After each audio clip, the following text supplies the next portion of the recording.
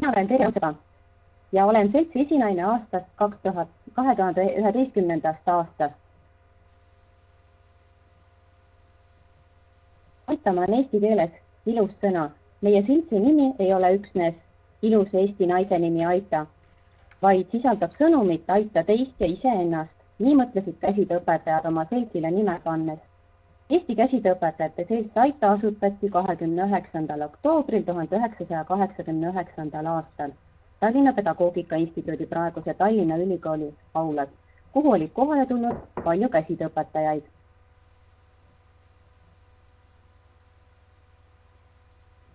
Aita on õpetajate ühendus, kes väärtustab käsitöö kodunduse õpetamist, tähtsustab Eesti rahvuslikku käsitööd, selle hoidmist ja edasiarendamist edendab käsitöö kodunduse õpetamist ning kaitseb käsitöö kodunduse õpetajate kutse huve.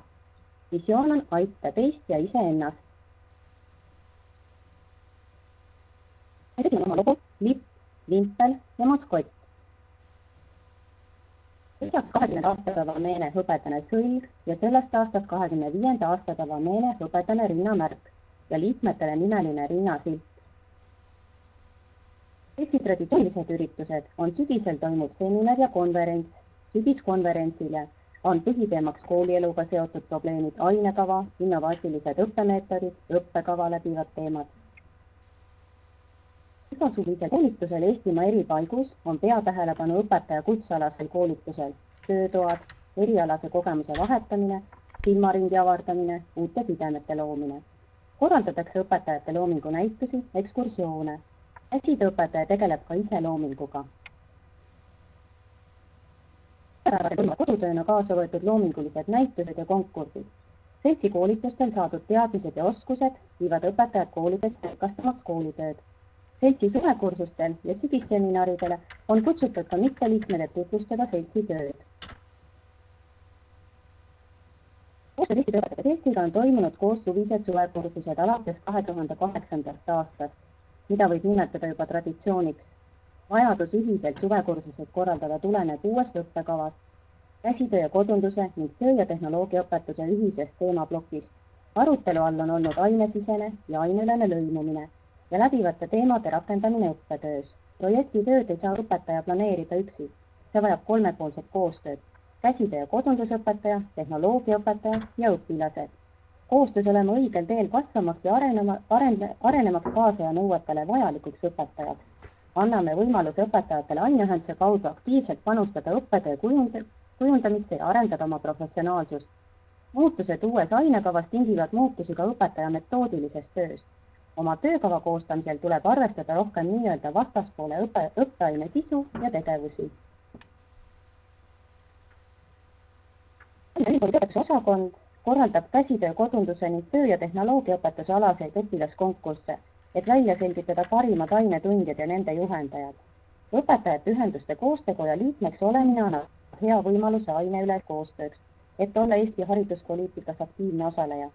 seltsi liikmed on kutsutud koostöökoja poolt korraldatud seminaridele ja koostööpäevadele. eks Aita on osalenud sihtasutus Innove poolt loodud programmis üldhariduse pedagoogide kvalifikatsiooni tõstmine kaks tuhat kaheksa kuni kaks tuhat neliteist eesmärgiks on parimate praktikate jagamine, uute metoodikate ja õppematerjalide arendamine ja levitamine. programmi raames ilmus virtuaalne ajakiri Uudiskiri. ajakirjaga on võrgustiku liikmed teinud kaastööd. selts on saanud rahalist toetust oma liikmete koolitamiseks. Tiidriõppe Sihtasutuse rahastusega oli kahe tuhande kaheteistkümnenda aasta lõpuks soetatud tippimismasin ja selle juurde kuulub tarkvara pea üheksakümnele üldhariduskoolile. käsitöö tundides on loominguline õmblemine väga oluline olgus tikkimismasinaga töötamine, töötamise teeb mugavaks ekraan, millel on menüü ja tikitav kujutis. masinaga on võimalik tänu tikkimisraamile õmmelda materjalile, kus käsitsi tikkimine ei saa, käsitsi tikkimisel ei saavuta head kvaliteeti. masina juurde on võimalik kasutada arvutiprogrammi, mis võimaldab tikkida logosid, embleeme, mitmesuguseid kaunistusi. kui soovitakse valmistada midagi täiesti originaalset, saab kasutada oma arvutit, et luua meelepäraseid kavandeid ja neid siis hiljem kasutada Enda disainitud tikandeid on võimalik salvestada edaspidiseks kasutamiseks ning kujundamiseks. käsitööaine sisu seostatakse põhiliselt käsitsi tehtava tööga, kuid kõik, kuid ka selles valdkonnas on võimalik töösse kaasata tänapäevast tehnoloogiat. käsitöö ainekavasse on vastavad muudatused ka sisse viidud. üheks võimaluseks on elektrooniliste õmblustikkimismasinate kasutamine käsitöötundides, mis aitaks õppeprotsessi lähendada igapäevaelu ning kaasa, kaasaegset töömaailmaga. Õmblustikkimismasina kasutamine õppetöös on üheks võimaluseks erialavaliku tegemisel. teisejärguliseks ei tohiks pidada ka tõsiasja, et taoliste masinate kasutamine õppetöös muudab käsitöö atraktiivsemaks ka poistele projekti Tiki Tiiger raames on toimunud loovtööde konkursid Tiiger tikib. konkursside kaudu sooviti väärtustada õppimist kui loovust, loovat tegevust ning näidata, kuidas igapäevane õppetöö ja tehnoloogia kasutus omavahel ühendada. Rohkem oleme, oleme pööranud tähe, tähelepanu õpilastele nende õpetajate ning organiseerinud näitusi ja konkursse. esmakordselt oli haaratud äh, koolinoorte laulu- ja tantsupäeva koosseisuga õpilaste esemeline looming koostöös Sihtasutus Laulu- ja Tantsupeo töögrupiga valmis suur projekt Ehtekoda. koolinoorte laulu- ja tantsupeol anti osalejatele võimalus valmistada ehteid suures ehtetelgis. õpetajateks olid käsitööõpetajad, samas eksponeeriti õpilaste parimaid töid. Suurem ettevõtmine oli koostöös Eesti Rahvakunsti ja Käsitöö Liiduga, kui kaks tuhat kolmteist aasta teemaks oli maavillane. sellest lähtudes toimus Eesti Käsitöömaja näituse galeriis üleriigiline õpilastööde näitus Lõngatööd sel kevadel toimus näitus Noor käsitöömeister. idee tuli sellest, et Eesti Rahvakunsti ja Käsitööliit kuulutas kaks tuhat neliteist aasta meistrite aastaks. meie õpilased ja nende õpetajad on pärandkultuuri järjepidevuse kandjad. Rõõm on tõdeda, et on noori ja tublisid tegijaid. üheksas veebruar kaks tuhat viisteist toimub järje, järjekordne konkurss Noor käsitöömeister, et leida ja märgata kooliõpilasi, kes on käsitöös või puudes pühendunud tegijad, tunnustada ja esile tõsta neid noori, kes peavad oluliseks meie rahvakunsti traditsioone. õpilased ja õpetajad väärivad tunnustust entusiasmi ja pühendumise eest. Juhtimine. piirkonnad on valinud oma juhid, kes kuuluvad eesseisusesse. enamus seltsi tegevusest ongi piirkondades, koolides. eesseisused juhivad ja organiseerivad tegevust oma piirkondades kuna seltsi töö on avatud kõigile liikmetele, siis toimub tagasiside ja ettepanekud edaspidiseks. seltsi tööd juhib kolmeliikmeline juhatus, kelle hulgast on valitud seltsi esinaine. majandustegevust jälgib kolmeliikmeline revisjonikomisjon. Suureks abiks ja oluliselt tähtsaks peab selts projektirahasid. Õnneks oleme leidnud võimalusi, kust raha taotleda ja oleme leidnud ka aega ning inimesi, kes projekti kirjutab. projektitöö kõrvalt ei ole lihtne leida aega projektide kirjutamiseks aruandluse täitmiseks ja ürituste organiseerimiseks. projekte on toetanud Innove, Eesti Kultuurkapital ning kohalikud omavalitsused. seltsi võrgustikutöö toimub õpetaja põhitöö kõrvalt. ajaressursiks on õpetaja tunniväline aeg, koolivaheaeg ja vahel isegi nädalavahetused.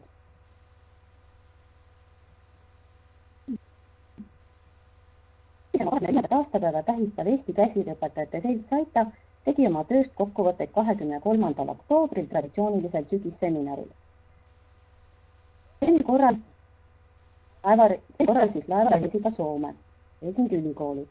koostöös Tallinna Ülikooli ja Helsingi ülikooliga korraldatud sügisseminari eesmärk oli tutvuda kodunduse ja käsitööõpetuse ideede rakendamisega koolides, jagada metoodilisi ja didaktilisi kogemusi teiste praktiseerivate õpetajatega oluliseks peetakse üleriigilise õppekava teadvustamist ja tähtsustamist ning uute teadmiste ja koge kogemuste viimist käsitöötundidesse. avasõna tegi ülikooli toidukultuuri professor ja koolitusjuht Johanna Mägela. kodunduse õppeainet Soome õppekavas ja kodu, kodundusõpetajate ettevalmistust tutvustas Helsingi ülikooli kodunduse didaktika professor Päivi Palojaki käsitööõppeainet Soome õppekavas ja käsitööõpetajate ettevalmistust tutvustas käsitöödidaktika professor Erja Sürjelainen. Neid tervitas Kodundusõpetajate Liidu kasvatusteaduste magister, kodundusõpetaja Aira Kuvaja. lisaks tutvusime Helsingi ülikoolis käsitöö kodunduse õpperuumidega. slaidide liigumiskivere. lisaks tutvusime Helsingi ülikoolis käsitöö kodunduse õpperuumidega masinkudumise klassiga, õppeköögiga, kangakudumise klassiga, käsitööklassiga. huvilised said külastada veel muuseume ja näituseid. tagasi koju toimus seltsi kahekümne viienda aastapäeva pidulik koosolek. suur töö ja pühendumine väärivad märkimist. seltsil on oma tunnustussüsteem. tänati austati asutajaliikmeid. nii mõnelgi nooremal ka asutajaliikmete muljed, kuidas kõik alguse sai. tänati seltsi esinaisi. esinaine valitakse ametisse eestisuse liikmete seast kaheks aastaks, kuid mitte kauemaks kui kaheks järjestikuseks valimisperioodiks. igal ese, esinaisel oli mõne, mõni põnev mõttetera, mis iseloomustaks esina, iseloomustas esinaiseks. tänati seltsi auliikmeid. Kõrgem tunnustus on seltsi auliige, mis omistatakse seltsi liikmele, kes on pikema perioodi jooksul eriti aktiivselt toetanud seltsi eesmärgilist tegevust või kellel on erilisi teeneid käsitöö ja kodunduse õpetamisel aukiri antakse seltsi üldkoosolekul ja elektrooniline, elektrooniline aukiri saadetakse seltsi liikmele tema kooli direktori kaudu. auliige on vabastatud seltsi liikme maksust. tunnustusaasta aita omistatakse seltsi liikmele, kes on eelnenud kalendriaastal oma tegevusega aktiivselt toetanud seltsi põhikirjaliste eesmärkide elluviimist. hetkel on kolmteist aasta aita tunnustust välja antud. aukiri antakse seltsi üldkoosolekul, elektrooniline aukiri saadetakse seltsi liikmele kooli direktori kaudu tunnustusega kaasneb rahaline preemia. kümme aastat seltsis liikmele, hõbekulan viisteist aastat seltsi liikmele, keraamiline taldrik, kakskümmend aastat seltsi liikmele, keraamiline tass. Tänukirjad edastati juubilaridele. selts peab meeles tänukirjaga seltsi liikmeid, kellel on viie või nulliga lõppev sünnipäev alates viiekümnendast eluaastast. võeti vastu kolm uut liiget. aineühendus tunnustas ka seltsi liikmeid viis aastat tagasi, kahekümnendal aastapäeval peeti meeles seltsi liikmeid hõpse sõlega. sel aastal, kahekümne viiendal aastapäeval kingiti seltsi liikmele, kes osales sügisseminaril, hõbedane rinnamärk. Asutajaliikmetele ehk kakskümmend viis aastat olnud seltsis liikmele kingiti väikese kivikesega hõbedane rinnamärk. lõpetuseks tänasime veel külalisi ja koostööpartnereid. seltsi pidupäev möödus, möödus mõnusalt karge päevaga Helsingis. ja areneb kui kaasatakse uusi tegijaid ja hinnatakse loovust. hetkel on seltsis sada viiskümmend kaheksa liiget. seltsi kuuluvad õpetajad kõigist Eestimaa maakondadest. Liikmeks saamine on kirjeldatud seltsi põhikirjas ja kodukorras. avalduse võib esitada elektroonselt, mis asub kodulehel. seltsil on liikmemaks. seltsil on käsiõpetajate kogukonnaleht, liikmetele list. lisaks seltsil on piirkondades omad listid ja vestlusringid, kaasamõtlemised, eestseisuse list seltsi listi kasutatakse iga päev teadete edastamiseks, positiivse kogemuse jagamiseks, probleemide lahendamiseks. Seltsi listi kaudu levib informatsioon koolitusvõimalustest. e-koosolekud ja tagasiside. seltsil on oma telefon ja e-posti aadress seltsi tegemisi kajastab ka Facebook, käsitöö õpetajate kogukonna lehelt ja Facebookis leiavad meid kergesti kõik käsitööga tegelevad toimkonnad ning liikmed saavad ka nende kaudu oma silmaringi avardada, uusi teadmisi ja kogemusi. inimese üks vajadus on kuuluda mingisse rühma, selle kaudu saame teada, missugused oleme ise. oluline, oluline on erinevuste aktsepteerimine, teiste omapära austamine. erinevus on rikkus, see ei ole oht, mida võimalust kasutada oma oskusi ja tugevaid külgi võimaldab inimesel ennast positiivsena tunda.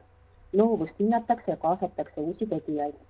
X-Aita liikmed võivad olla mis tahes haridusastme käsitöö kodunduse õpetajad ning muu käsitöö, käsitööõpetusest huvitatud isikud, kes soovivad arendada seltsi eesmärkidega kooskõlas olevat tegevust.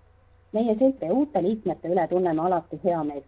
selts on koht, kus kokku saavad käsitööõpetajad, kes tahavad teha midagi uut ja huvitavat õpetajatel on oma ideed ja arvamused, neil on oma koht, kus oma sõna sekka öelda, muuta ise oma elu mitmekesiseks, loovamaks. seltsi liikmed, toetudes rahvakunstile ja olles avatud uuele, arendavad õpilaste loovust ja suutlikkust toime tulla. Kahekümne viie aastane seltsi tegutsemise aeg on näidanud, et tegeldakse õige asjaga ja olla, ollakse jätkuvalt tegus ühendus. seltsis segased, hulgas ubased. tänan kuulamast aitäh Terjele. kui nüüd on küsimusi, siis küsimused võib esitada siin äh, paremas ekraaniservas olevasse jutukasti ja Terje siis äh, kindlasti oskab äh, nendele küsimustele ka vastata. Olen nõus Merikese Ingritiga, esiteks meil on aktiivne selts ja järelikult on meil aktiivsed seltsi liikmed. Ja minu meelest oli ka väga tore ettekanne, et ma usun, et mõnel pool kõlab nüüd aplaus, aga lihtsalt meieni ei kosta. nii, aga meie täna tänase veebiseminari puhul pidi siis äh, kajastama erinevaid veebikeskkondi ja, ja natukene väikese õpetusliku poole ka siis sinna juurde andma, äh, kuidas kasutada veebikeskkonda nimega Pinterest. ja kindlasti on siin nüüd palju selliseid äh, väga tuttavaid keskkondi ja, ja ma arvan seda, et ei ole üldse mitte liig teid paluda, et kommenteerige ja, ja vahetage siis kogemusi ka seal jutukastis. aga ma näen, et Ingridil on äh, küsimus, et äh, mida peate ise kõige suuremaks saavutuseks. Kas Terje vastab mikrofoni? ei ole vastanud veel, aga ma arvangi, et kõige suurem saavutus ongi see, kui meie aines on äh, soolisust arvestamata, nii tüdrukud kui poisid saavad osaleda nii puutöös kui käsitöös kodunduses. see kajastub ju uues õppekavas ka väga ilusti kõike proovida. no nüüd saab siis küsimused küsida siin paremast pool olevas kastis. Aga äh, see tänane ülesanne tegelikult nende veebikeskkondade teemal rääkida oli küllalt keeruline. ilmselt nagu te ise teate, on keskkondi tohutult. no nüüd ei ole mõtet selles mõttes üldse mainidagi sõna Facebook, sest seal on minu meelest lausa miljoneid erinevaid gruppe gruppe ja, ja lehekülgi, kuskohast saab äh, inspiratsiooni ja mõtteid, mida näiteks oma õpilastenigi viia. aga alustagem siis äh, ilmselt kõige tuttavamast ja minu meelest ka praegusel hetkel kõige vanemast eestikeelsest veebikeskkonnast ehk kogukonnast nimega Isetegija.net. ja kui ma vaatan siin meie osalejate nimesid, siis ma tean, et seal on nii mitmedki väga aktiivsed Isetegija kasutajad, kellel on seal oma ajaveebid ja kindlasti oskavad nemad ka palju paremini sellest keskkonnast rääkida. Aga keskkond pakub siis võimalust äh, suhelda Foorumi kaudu. Äh, seal on väga huvitavad äh, blogid ehk ajaveebid, viiakse läbi ühiseid üritusi ja nõu ja õpetussõnu saab ka nendelt, kes siis üht või teist tehnikat kõige paremini haldavad. ja kui ma nüüd ei eksi, siis peaks olema isetegija net aastast kaks tuhat viis Eesti siis internetimaastikul täiesti olemas. olen nüüd küll märganud, et äh, viimasel ajal kipub ka isetegijate tegemisel rohkem Facebooki minema, aga kindlasti leiab siis sealt kogukonnast ka üht-teist huvitavat. teine väga selline aktiivne kogukond minu arvamust mööda on mustrimaailm, kuhu on siis kogunenud äh, kudumise fännid ja jälle ma julgen öelda, et siin on äh, täna ka väga äh, aktiivseid mustrimaailma osalisi. minu meelest viimane põnev asi, mida mina sealt jälgisin, oli salakudumine. ma nüüd ei julge öelda, kas see sokk või kinnas, igastahes esimest korda ma tundsin, ma tahaksin osaleda. et tegu on siis foorumilaadse veebilehega saab ennast kasutajaks äh, registreerida ja, ja siis pääseb sinna kohe toimetama. tundub väga sõbralik ja, ja lahke äh, seltskond olema, aga meelsasti aitab. mustrimaailmal on äh, olemas Facebooki lehekülg ja ka seal tundub olevat päris aktiivset toimetamist. Nüüd eestikeelsetest keskkondadest ma ei hakanud üldse vaatama ajaveebe, seal on veebipidajaid, äh, kes on äh, oma ajaveebi pidanud rohkem kui kümme aastat, äh, on mitmeid ajaveebide kirjutajaid, kellel on ilmunud juba oma raamatud, näiteks Pentu ajaveebist on juba raamatnud, Ilukudujal on oma mütsiraamat ja nii edasi. et neid on hästi palju ja kindlasti olete mõne juba avastanud ja kui veel ei ole, siis võin äh, hiljem teid küll äh, mõnele väga huvitavale äh, blogile siis juhatada. aga praegu ees on hoopiski Eesti muuseumite veebivärav Muis, mis ehk on ka tuttav ja pakub siis rahvakunsti huvilistele tohutut varamat.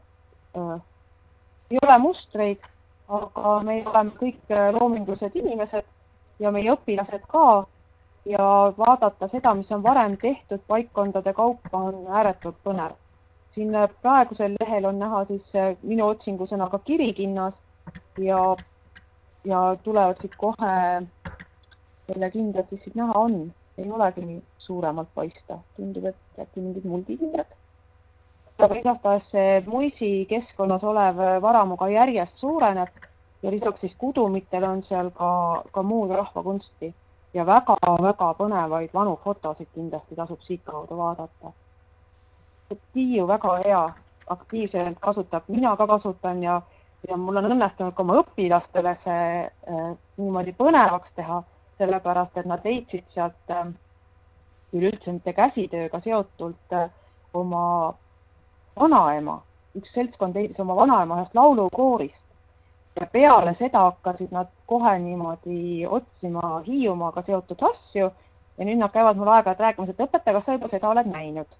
et selline hästi-hästi vahva keskkond, et muisi kohta peab veel märkima seda, et äh, muis sobib kasutamaks äh, õpilaste töödes, sest kõik, kõiki pilte võib kasutada, kuna seal on selline litsents mis lubab siis äh, neid pilte kasutada, kui on viidatud äh, algallikale ja see andmed on ilusti iga pildi all olemas. kuna mul täna ei õnnestunud teile ekraani jagada, et kohe otsepilti näidata, siis äh, ma arvan, et see jääb teile katsetamiseks. ja tõesti, loovtöö jaoks on see ääretult, ääretult põnev keskkond. nüüd välismaistest keskkondadest tõin siia väga pisikese valiku jälle oma vanadest sõpradest ja sellised pigem nagu mm, koguvad portaalid. siin on üks selline keskkond nimega Craft Gossip või siis ta võiks siis olla otsetõlkes ähm, käsitööalased äh, kuulujutud, kus on vasakus ääres menüü erinevate teemade kaupa jagatud ja, ja see leht siis kogub kokku erinevaid internetis olevaid lehekülgi ja artikleid selle vastava teema alla ja jagab siis seda niimoodi laiali. praegu on ka leht väga aktiivses tegevuses ja iga päev ilmub sinna ikka hulgaliselt uusi postitusi nende teemade alla. selline vahva keskkond, minul on siin hetkel näha just selline lapitööga seotud äh, teema.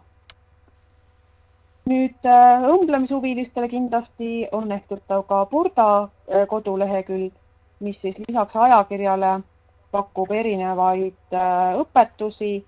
Äh, siin on äh, siis koos tegemise võimalusi, et valitakse näiteks üks lõige ja õmmeldakse ja, ja selles mõttes on ta ka väga vahva, et kui ajakirjas on sageli ainult üks pilt mingi teatud mudeli kohta, siis siin on erinevad inimesed erinevate kehakujude erineva materjaliga õmmelnud ja näeb siis, kuidas üks või teine lõige istub.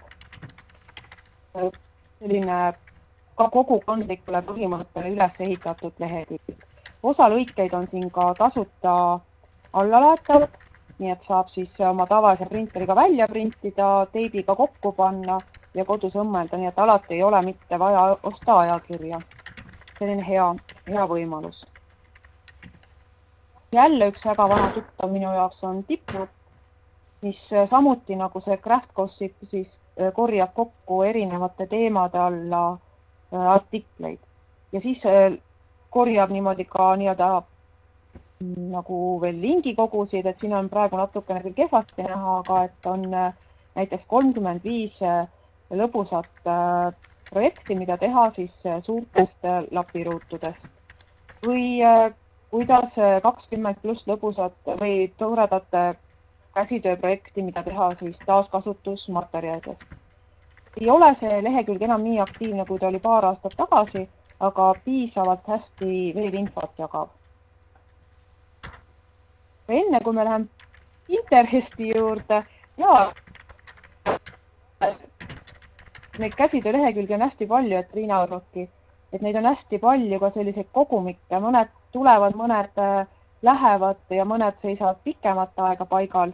väga hea Merike toob siia karnistuudio, mille mina välja jätsin jätsin välja ka äh, siit äh, kudujate teise suure lemmiku Veiveri, siis mõtlesin veel panna siia ühe lingi nimega Craftsi, aga ma ei tahtnud neid alguses sinna esitlusse panna, et ehk läheb paljuks, et Craftsy on ka selline nagu käsitöö ajakiri veebis, kus on äh, koolitusi ja, ja siis äh, õpetusi ja mustreid. Väga hea Haapsalu salli lehekülg on, mul, pange aga linke siia juurde, kõik äh, korjavad need siit ülesse. aitäh, Merike. aga Pinterest on siis see, millest ma täna oleksin tahtnud pikemalt rääkida ja kes seda juba kasutab, see ilmselt noogutab mulle kaasa, kui ma ütlen, et ega sinna tegelikult kasulik oma sõrme panna ei ole. ajakulu on tohutu.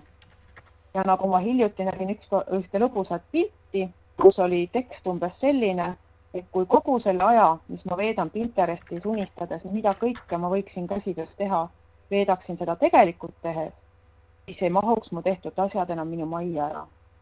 mina pean ütlema, et nii see on see on äh, tohutu selline inspiratsiooni allikas. ja tegelikkuses on tegu hoopiski lingi kogu või järjehoidjaga. Pinterest on siis äh, kõige lihtsamal moel võiks tema kohta öelda, et tegu on äh, visuaalse järjehoidjaga, kus korjatakse kokku mõnel veebilehel olevate piltide järgi info siis ühte kokku ja, ja sealt saab siis kohe pildi järgi vaadata, ahaa, see kott oli see, mis mulle meeldis sellepärast, et seal olid huvitavad rihmad peal. ja ma mõtlesin, äkki ma tahaksin seda teha. et äh, selline lahe ja, ja lõbus nagu ma näen, siis siin tõelised fännid juba kõrval pidavadki, et jah, nii ta on. aga ma alustan siis selles mõttes algusest, et kui teil veel kontot ei ole, siis Pinteresti lehel on võimalik teha omale konto päris nii-öelda nullist, aga võib siis sisse logida ka Facebooki konto kaudu, kui teil see on. sellel juhul küll äh, alguses küsitakse seda, et kas, kas te tahate, et ta postitab teie leitud lingid kõik ka sinna Facebooki, et siis sealt tasuks ilmselt äh, linnuke maha võtta, pärast et äh, noh, ma ütlen, sinna võib uppuda, kui te näiteks kolmkümmend linki päevas leiate sealt enda jaoks põnevat ja oma töölauale ümber tõstate, siis äh, teie sõbrad, kes ei ole võib-olla käsitööhuvilised, on äh, lõpuks väga mures, et äh, oi-oi, kui palju tuleb. aga võib siis teha endale konto ka lihtsalt emaili aadressi kasutades ja parooli endale valides. nüüd, kui te olete omale konto teinud, siis kõigepealt luuakse teile teie keskkond. mina kutsun seda seinaks ja neid äh, nii-öelda board'e kutsun mina laudadeks. et äh, iga selle teema kohta võib teha oma laua ja, ja kui teil on ühel laual juba liiga palju linke, et äh, minul on näiteks kottide laudu vist juba viis ja mul on tunne, et ühes on juba üle seitsmesaja erineva lingi. ma pean hakkama jälle uut tegema ja üleüldse peaksin ma seda kuidagiviisi hakkama lahterdama, et näiteks suured kotid Äh, väiksed kotid, kosmeetikakotid äh, või, või siis näiteks lukuga kotid ja paeltalkotid, et muidu on süsteem nii segi, et enam ei jõua neid otsida. aga alguses on see, see sein teil täiesti tühi ja alustada võiks siis omale esimese laua loomisega. Aga kui te tunnete, et veel ei ole justkui midagi sinna panna, siis võite vaadata, mida ka teised teevad. kui teil on vaja laud luua, kuhu siis hakata mingil teemal omale neid äh, linke korjama, siis avaneb teile selline aken, ma lähen korraks eespoole tagasi, et juhtida tähelepanu, see tuleb siit äh, Create Report veel plussmärgi alt, tuleb siis see järgmine aken lahti. Täidate oma väljad ära, panete sellele lauale või stendile nime, võite kirjutada väikse kirjelduse, määrata kategooria kuigi mina olen selle tavaliselt lahti, aga siis mingi aja pärast küsib Pinterest mu käest, et aga mis teemal see sul ikka on nii et noh, selle klõpsu võib ka kohe ära teha ja valida sealt mingisuguse konkreetse teema, mille kohta see käib. Add em up tähendab seda, et teie mm, lingikogus tehakse ka mingisugune kaart. Mina olen valinud, et see on eitav. ja, ja keep a secret tähendab seda, et ma võin teha ka privaatse lingikogu, mida teised ei näe. no ma ei tea, käsitöös vist ei ole selliseid teemasid, mida ma tahaks väga varjata aga et siin on siis vähemalt võimalus öelda, et see töölaud või see lingikogu on salajane. ja hästi tore võimalus on koostöös teha, et miks mitte, me teeme ühe laua näiteks käsitööõpetajate selts Aita ja kõik, kes on Aita liikmed, me saame siia lauale lisada ja üheskoos siis sinna erinevaid huvitavaid linke korjata. et siia tuleb siis lihtsalt nimi trükkida ja lisada hääd ja see inimene saab sinnasamasele äh, siis oma neid äh, mõtteid panna. no eks ole, on jah hea mõte, et äh, täiesti võid näiteks maakondade kaupa või maakondades korjata õpilaste paremaid töid või õpetajate paremaid töid. et täiesti põnev oleks ja, ja siis tekitada sellest üks selline visuaalne lingikogu ja heade mõtete koht. ja alla siis on vaja sellele nupule create report sellele klõpsata, et saaksite oma töölaua nii, kui töölaud on tehtud, siis alguses on ta jälle täiesti tühi. töölauale korjatakse äh, lingid või pinnid või siis, äh, kuidas nende kohta öeldakse veel, et ähm, nad oleks nagu knokaga kinni pandud ideed. Neid korjatakse siis igale lauale ja jälle siin plussmärgi alt saab siis näiteks lisada oma esimese pinni. klõpsatades plussi peale avaneb selline pisikene lisaaken, mille ma siia kõrvale panin ja siia lisaaknasse on vaja lihtsalt kleepida see aadress, mille kohta te tahaksite eh, linki panna no,. Helja küsib, et kas see sobiks näituse koostamiseks. tegelikult ma arvan, et isegi sobiks. ja kuna seal on võimalik anda ka igale sellele pildile näiteks eh, seda kiita ja seda kommenteerida, et selles mõttes ta täitsa tegelikult sobiks mul on praegu väga hea meel selle üle, et see mõte tuli. meil on ka Hiiumaal küsimus, et millise keskkonna abil endale head äh, seda äh, näitust teha. Äh, pildid ei pea olema internetis, pilte saab ka ise üles laadida. mõlemat pidi. Jätsin siit ühe akna puudu, et kui ma siia plussmärgi peale klõpsan, siis üks võimalus on, et add veeb ehk lisa internetist ja teine ongi, et lisa oma arvutist et arvutist võib ka pildi lisada, et ei pea nad olema internetis, see, sellepärast sobiks ta väga hästi näituse koostamiseks. kui äh, aadress on näiteks, kui internetist lisada kasti veeritud, siis tuleb valida next. ja tekib selline üks lisaaknake, mida ma jälle siia vahele ei pannud just põhjusel, et äh, see justkui ei andnud seda ülevaadet. aga kui teil on näiteks veebilehekülg, kus on äh, noh, ütleme kakskümmend pilti, siis ta lubab teil valida ka, et millise pildi te tahate just sinna järjehoidjaks panna. mina valisin muisist äh, selle ainsama kindaga lehekülje ja mul on siin veel täiesti ära muutmata kogu selle lingi sisu. Ehk kõigepealt, kui ma olen selle pildi siis välja valinud, et selle pildi kohta tahan ma järjehoidjat panna, peaksin ma valima siit selle board'i või laua, kuhu ta kõige rohkem sobib. praegu ta tõenäoliselt sinna kottide hulka ei sobi ma peaksin siia väikse noole peale klõpsama ja valima sealt hoopiski kudumid. või kui mul on ka eraldi näiteks Hiiumaa kudumid, et kui tegu oleks Hiiumaa kindaga, siis ma paneksin ta sinna lauale. siis siia alla kasti võiksin ma kirjutada väikese kirjelduse. Selle kirjeldusega nüüd nii, et äh, ma pean ütlema, et kui ma teiste linke enda lauale ümber tõstan, siis ma enamikul juhtudel ei vaevu seda kirjutama ümber eesti keelde ja, ja ei tee ka välja sellest, kui see näiteks on inglisekeelne see kirjeldus. kui mina panen pildi, siis ma ikkagi panen siia äh, kirjelduse ka. ja kui ma arvan, et see kirjeldus on või see pilt on oluline, ka see link on oluline näiteks ka mitte ainult Eestis, vaid väljapool, siis ma üritan kirjutada selle kirjelduse kasvõi kahe-kolme sõnaga inglise keeles. aga ma olen kirjutanud ka eesti keeles. nüüd äh, kirjeldusega on selline lugu, et äh, et sealt olla hästi tähelepanelik. just hiljuti ajasin ma mööda Pinteresti järgi ühte Hiiumaa Reigi kihelkonna kinnast, mis oli oma kirjeldustes muutunud mitte Reigi kihelkonnaks, vaid Roike kihelkonnaks ja, ja läinud siis mööda välismaiseid pinnijaid või neid Pinteresti kasutajaid järjest edasi ja siis mina liikusin ühelt lingilt, lingikogust teise ja kirjutasin aga alla kommentaare, et et vabandust, õige nimetus on see, äh, parandage ära, õige nimetus on see, parandage ära.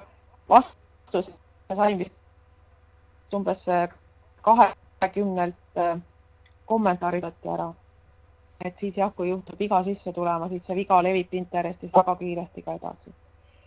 Kui teil on nüüd Facebookiga seotud, siis võib ju lingi ka Facebooki lehele postitada, aga see noh, on siis valikute küsimus, et äh, siit võib tärniga ära võtta. ja kui kõik väljad on täidetud, see, mis paigutab selle lingi teie Pinteresti seinale. ja kokku saab siis sellise suuremat sorti kogu. siin on nüüd näha juba mitte minu sein ja mitte minu kogutud asjad, vaid siin on minu sõprade kogutud ja nii-öelda kinnitatud äh, lingid ei olegi kõik mu sõbrad, mõned on täiesti võõrad inimesed. aga mul on tundunud, et nende lingikogud on hästi huvitavad olnud ja ma olen hakanud neid jälgima. ja siis, kui nemad jälle mingile lauale midagi uut panevad, siis ilmub minul see siia sellele lehele. siit küll hästi ei paista, aga, aga siin on näiteks ühel laual on everything crochet ehk kõik heegeldamisest on, mul on nüüd nii pisike pilt, et mul hästi ei paista, alfa no üks alfa on tema siis ühe mütsi pannud heegeldamise linkide hulka. ja siin on läinud siis äh, kottide sekka ja siin on nüüd lapide padi hoopis, kõik on erinevad inimesed, kui te siit alt vaatate, on näha siis see inimeste nimed, kes on need siis oma seinal kinnitanud ja kelle seinu mina jälgin. See alumine heledam tekst on just siis nende selle seina või selle laua nimetus, kuhu nad kinnitanud on. Lähen korraks tagasi kui mina tahan siit ümber tõsta endale linke, et mulle, mulle näiteks see müts meeldib ja ise ma internetis otsides seda kuskilt üles ei leidnud, siis äh, siia pildi peale minnes ja üles vasakusse nurka tekib ka see punane knoka moodi pilt, mis minul siia pildi peal kohe kuidagi jääda ei tahtnud. selle knoka peale klõpsates avaneb mul peaaegu samasugune aken nagu see siin ehk ma saan siis ära täita vastavad väljad ja tõsta selle, selle pildi oma heegelduste seinale. et ma ei pea minema otsima selle sõbra seina, vaid ma saan siis või lauda või saan vaadata siis oma laua pealt, ahhaa, see oli see pilt.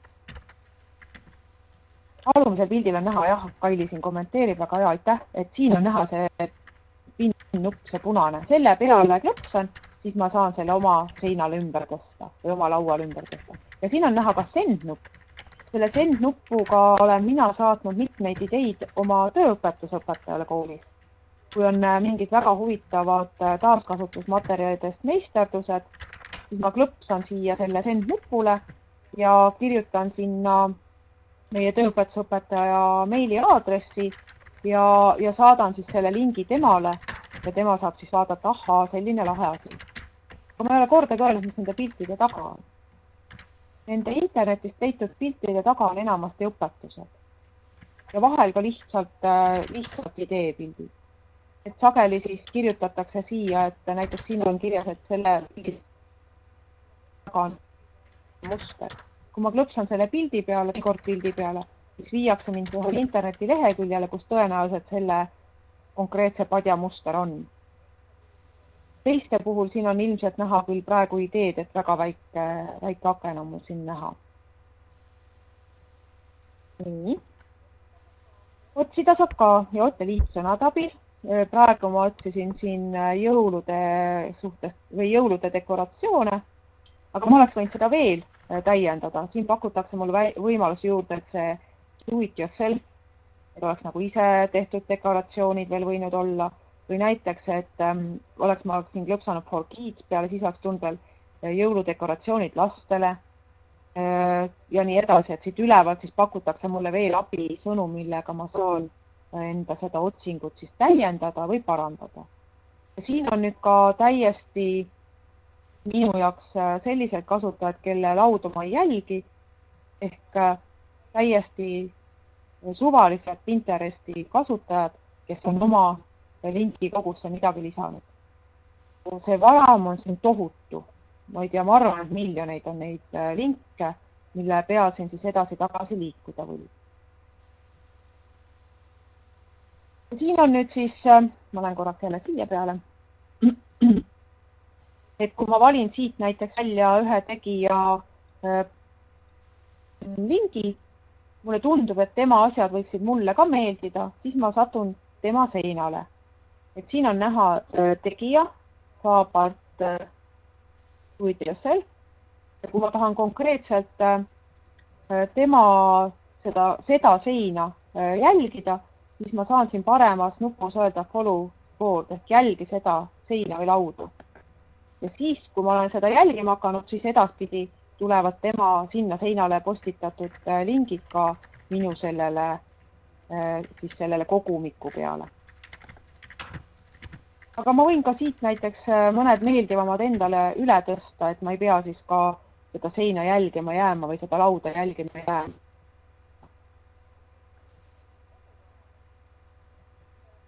mulle meeldib selle inimese, siis siin on äh, kõik tema lauad, kõik tema seinad, neid on tal küll hästi vähe, ainult äh, kuus. et siin ma saan ka eraldi määrata näiteks, et seda koduteemalist kogumikku ma tahaksin jälgida, aksessoreid või lisandeid ma tahaksin jälgida vahele, et ma saan ka siin valiku teha. Ja kui mul kõik need kuus lauda tunduvad huvitavatel teemadel olema siis ma saan jälgida terve selle inimese kogu lingi kogu, kui ma klõpsan siin jälle üleval punasel nupul follow ehk jälgi. nagu ilusti näha, et kui palju tal on erinevaid linke. Neid on kokku siin siis tuhat viissada ligikaudu. siin on ka meeldimised, et kõiki linke ei pea oma, oma kogudesse ümber tõstma, vahel võib mõnele öelda, et väga lahe on. ja, ja siis on näha ka, kui palju on sellel inimesel jälgijaid tal ei ole sugugi palju linke, aga tal on äh, üle kuue tuhande, just õigesti mäletan, üle kuue tuhande jälgija, kes tema neid koguseid siis vaatavad. Ja ise jälgib ta umbes viitesadat inimest. kui enda kohta samasugust äh, siis äh, statistikat tahta näha, siis tuleb siin oma nime peal üleval paremas servas klõpsata ja siis näeb samamoodi, et palju neid on, kes teid jälgib, palju teie jälgite ja palju teil linke on ja kõike muud. Kui Ingrid ütleb, et kõike ei jõua, no mismoodi ei jõua, kui linke on kümme tuhat, siis ju hakkad otsast tegema ja, ja nii ta läheb. kahjuks muidugi pean ütlema, et, tõesti jah, ei jõua, et eriti just sellepärast ei jõuagi, et kogu aeg vaatad Pinterestis huvitavaid ja lahedaid asju, mida inimesed teevad, ohhetad ja ahhetad. võtad jälle lingi oma seina peale või oma laua peale. et küll ma selle ükskord ära teen ja siis selgubki, et linke on saanud kümme tuhat ja, ja tegelikult tegemise aeg on nagu sinna ära läinud. aitäh, Natalja. Äh, ma oletan, et see on enda sein. siis sinna tasub äh, kindlasti minna vaatama. see on värske. et edaspidi saab siis jälgima hakata. nii, aga ma tulen korraks siia üle-eelmise lingi peale tagasi. et kui mina näiteks ütlen, äh, võtan siit selle pildi lahti, klõpsan ta suuremaks tõstan selle oma seinale ümber, ega siis asi sellega ei piirdu. See on tõesti universum. iga pildi all on veel valik seinasid või laudu, siin on see sõna on puudu, et siin on need erinevad lauad, mis on samadel teemadel või peaaegu samadel teemadel. ja siis on veel siin terve suur valik erinevaid äh, linke või neid pinne, mis on ka samal teemal. nii et vahel pole vaja üldse hakata vaatamagi erinevaid äh, laudu või ei ole vaja hakata otsingut tegema, leiad ühe pildi ja selle pildi alt avaneb sulle järjest ja järjest uusi asju, mida vaadata. ja, ja no aeg kulubki lihtsalt järjest ära. nüüd, et elu lihtsamaks teha, et noh, muidu on nii, et leiad küll head materjalid ja internetist ja tahaks endal lingikogu tekitada piltidega, aga no kes see viitsib kogu aeg siit ülevalt äh, aadressiriba pealt aadress peerida ja siis võtta lahti Pinteresti keskkond ja siis sinna sisse logida ja siis otsida sobiv laud ja siis vajutada nupule pinnit. mitu klõpsu jätad lõpuks tegemata, siis äh, tegelikult on võimalik siit sellelt aadressilt about.pinterest.com ka äh, väike nupukene oma veebilehitsejale, brauserile. seal on allpool kuskil selline install now see paigaldab sellise pisikese punase nupu, kui te näiteks kasutate Google Chrome'i või Mozillat teie veebilehitseja aadressi riba kõrvale. siis, kui te lähete näiteks Muisi lehele, leiate sealt lahedad sukad, siis ei võta te mitte seda aadressi sealt ülevat, vaid klõpsate enda veebibrauseris sellele punasele nupukesele. Teil avaneb pisikene lisaaken, kus te saate kõik need väljad ära täita, millega see link Pinteresti läheb see link ongi seal. Ja kui neid on nii lihtne veel lisada, siis äh, see linkide maailm läheb järjest kirjumaks ja järjest aktiivsemaks. Ähm, äkki, väga hea, Kristiin, teeme ideelaada, jah, ideede kogumi, väga lahe oleks. kas Ingrid jõuab näiteks kiire trükkija meile siia selle aadressiga, kus selle nupu saab siia trükkida? ma siis ei läheks veel edasi. kui kellelgi on oma Pinteresti seinu, mida jagada, siis võiks seda teha. kohe otsin ka teile enda oma ülesse. et võiks jagada, et siis saab juba sealt üht-teist, eriti kui veel ei ole ise palju teinud. minu töölaud asub selle aadressi pealt. et äh, ja Kristiini leiab üles tema nime alt ja mõned veel leiab äh, oma nime alt üles, et kellel ei ole oma nimelist, äh, nagu minul ei ole oma nime seal kajastamas, et siis võib-olla hästi ei leia no vot, väga hea, aitäh, juba tuleb siit äh, vahvaid Pinteresti seinu. aitäh Ingridile, kes meile selle nupu asukoha aadressi äh, aadressi ära siia kirjutas. et sellelt help aadressilt saab siis paigaldada jah endale pisikese nupu veebibrauserisse ja siin on nüüd näha. Haapsalu salli aadress oli meil ennem siin korraks ka käepärast, et minu Chrome'i veebilehid seal on siin selline pisikene Pinteresti nupp ma läksin Haapsalu salli lehekülje peale, otsisin nende galeriisid ja, ja siis oli galerii nimega Haapsalu sall kaks. kui ma sinna peale läksin ja Pinteresti nupule klõpsasin, siis avanes mul selline aken. on need erinevate sallide pildid ja nüüd, kui ma tahaksin näiteks äh, seda konkreetset salli sinna panna märgusõna alla Haapsalu sallide kogumit, siis siin selle pinnit nupu peale klõpsates saan ma jälle need vajalikud väljad ära täita ja, ja ongi mul jälle üks vahva äh, pildiline link minu lingikogus olemas. nii, aga hästi kiire ülevaate sellisest äh, Pinteresti, Pinteresti keskkonnast ja mõnest veebilehitsejast veel.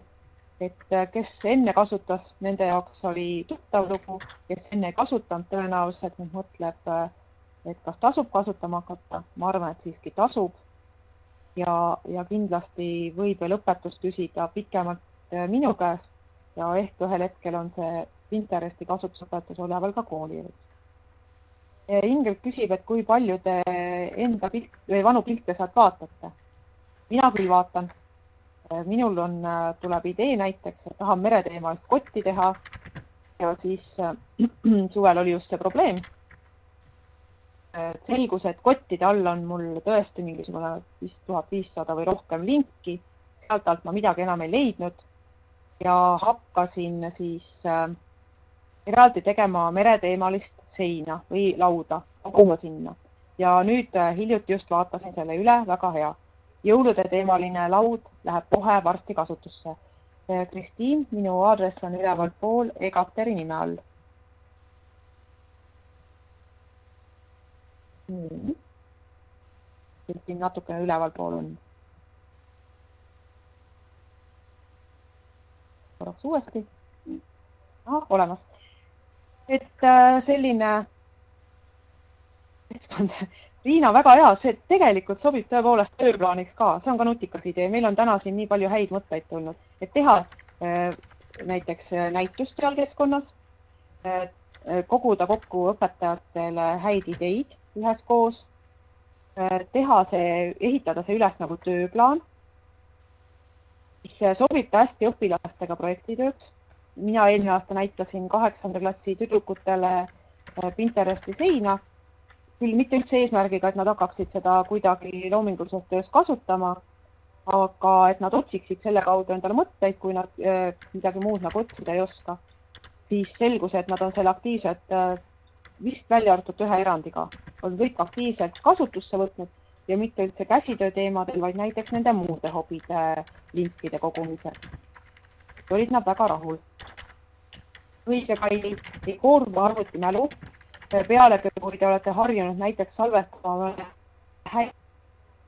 häid sõnale bookmarks või järjehoidjad, siis kui juhtub kogemata lugu selline, et teil arvuti enam teiega koostööd ei tee, siis äh, need bookmarksid või järjehoidjad on kohe kadunud. aga sinna Pinteresti keskkonda jäävad nad alles. ja jagada on tõepoolest lihtsam. minule meeldib, et see on juba selle konkreetse äh, kinni pilti, siis mul juba tuleb meelde, miks ma ta sinna seinale panin. ahah, seal taga oli see mõte ja seda ma tahtsin sealt järgi vaadata või sealt lugeda. väga palju huvitavaid ideid on lisaks käsitööle ka, ka kokanduse või kodunduse alal igasuguseid lauakatmistest alates ja väga lahedalt kujundatud toitudega lõpetades. fotohuvilistele on seal väga palju õpetuste linke juba olemas. Tõesti lugemismängud, ma ei tea, see, see maailm on minu meelest lõputu, mis seal sees on. et hästi palju ja ei pea tõesti olema ainult mitte käsitööga seotud lingid, vaid vaid ka kõiksugused muud äh, piltidega äh, kajastatavad lingid sobivad sinna väga hästi. no tuleb juba siit mõtteid, et lasteaednikel puudub meisterdamist. No ma arvan, seda meil üks õpetaja, kellele ma näitasin kevadel Pinteresti, ütles, üks algklassi õpetaja, et, et äh, tema enam raamatuid ei viitsi lappida. tema võtab Pinteresti lahti, kui temal on mingit meisterdamise ideed vaja ja otsib sealt et äh, tuleb, äh, tuleb kohe palju mõtteid. ja kui Riina siin ütles, et äh, see on tõepoolest ka võõrast arvutist kättesaadav, et ma ei pea minema siis paberilehele kirjutatud veebiaadressiga näiteks tundi, et kui mul on olemas arvuti, siis ma logingi oma keskkonda sisse ja ma saan kohe kiirelt liikuda nende veebilehekülgede peal või nende piltide peal, mis ma olen enda sinna siis kokku kogunud mingi teema alla hästi-hästi vahva keskkond. nii, kas on veel küsimusi, uurimisi, mõtteid? väga häid ideid on täna siin äh, välja tulnud, et äh, tuleb kõik üles kirjutada ja kohe kasutusse võtta. ja, ja ma arvan, et kevadeks on meil juba seal Pinterestis üks äh, käsiõpetajatel üks eriti vinge teemakogumik ahaa, kuhu see käsitööõpetajate link ilmub. tegelikult on sellega nüüd nii, et keegi võiks siis selle laua algatada. et see võib ka Kristiin olla, kes algab laua ja kutsub esimesed tuttavad käsitööõpetajad juba sinna seda toimetama. ja ma arvan, et selle Pinteresti laua aadressi me saame panna näiteks sinna käsitööõpetajate veebilehele, see käsitöö.edu.ee lehele, nagu meil ka Facebookis see väike vidin seal on. et siis sealt saab näiteks hästi kergelt linkida ligi. see on hea mõte paneme selle lingi sinna. aitäh teile ja mina soovin mõnusat õhtut ja ärge siis ennast sinna väga pikaks ajaks täna õhtul sinna Pinteresti äh, unustage. lehvitan Hiiumaa poolelt